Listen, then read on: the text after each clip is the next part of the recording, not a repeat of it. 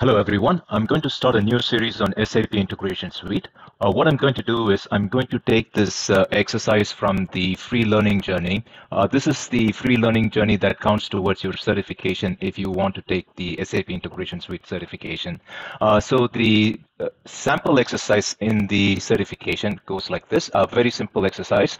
Uh, company A is selling some goods to customers and uh, because of some uh, supply chain issues, uh, some of the products cannot be delivered on time to the customers and therefore co company A wants to inform customers about uh, the delay in the shipping process. so very simple process ex example and this is what we are going to be looking at in this SAP Integration Suite series.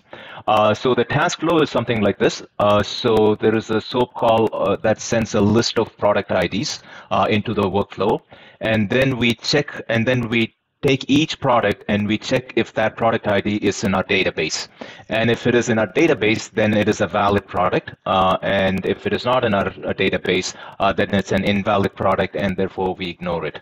Uh, then for each of the product, the valid product, uh, we get all the sales orders for that product ID. And then uh, we also get the sales header because this is where the customer information is. And then from the sales header, we get the customer ID and write it to the data store. Uh, so fairly straightforward task flow. Uh, so putting some concrete values in here. Uh, so we get like three products, laptop, iPhone, and TV. Uh, then we go through each of the product and see if this product is in our database. Uh, let's say the laptop and TV is in our database, but the iPhone is not. Uh, so because the iPhone is not in our database, we ignore the iPhone. And then for the laptop, we go and check all the sales orders for the laptop. let's say there are two sales orders. We pick those two sales orders.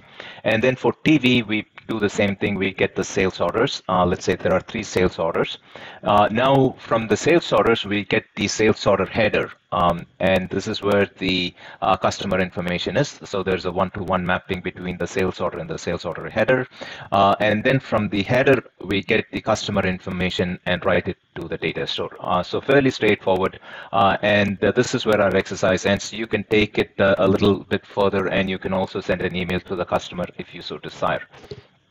Uh, so let me give you a quick uh, demo of what we're going to build. Uh, so if I go to my integration suite. Uh, so the uh, iFlow, I've already built the iFlow. So if I go into the iFlow right here, uh, it looks something like this. Uh, so the iFlow has uh, quite a number of uh, steps. And this one, as you can see, it starts with the SOAP adapter and then it has quite a few steps and then at the end we write it to the data store. Uh, so from my uh, post uh, Postman client, uh, so I'm going to send a uh, send a SOAP inbound request. So I have three products. so I can have any number of products here, but I have three products right here, and I'm going to send the request. And as soon as I send the request, the response comes back with a 202 accepted. so this is asynchronous in nature. so we send the request and then the response comes back right away. And then the processing happens, and then the uh, uh, customer IDs are written to the data store. Uh, so if I go to the um, if I go to the monitor and if I go into the integrations right here, and if I look at the um, uh, history, the trace log, um, uh, actually, let me look at the uh, the data store. If I look at the data store, uh, you will see that uh, we just ran this, and then we have uh, uh, around this time, so we have all the customer IDs written to the data store. so this is the sample, the the demo of the exercise. And what I've also done is um, there are quite a number of sales orders. so in the exercise that I ran, so I had a, a, filter to only get the top two sales orders.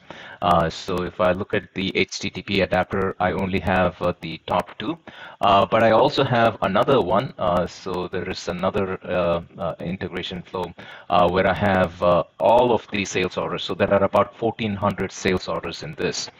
so this is going to take a while to process. It's going to take about 10 minutes to process. So I removed the top two. so it's going to take about 10, 15 minutes to process. but let me go ahead and start this also. so it's kind of the same request request a different endpoint though, um, uh, but you can see in the body we are sending the same uh, data. Uh, and once I send it, uh, it's going to process it. It's going to take about 10 minutes to process. Uh, but once it processes it, you will see all the customer IDs written to the data store. so that's what we're going to be looking at in the following videos. hopefully you can join me in the in the series. Thank you.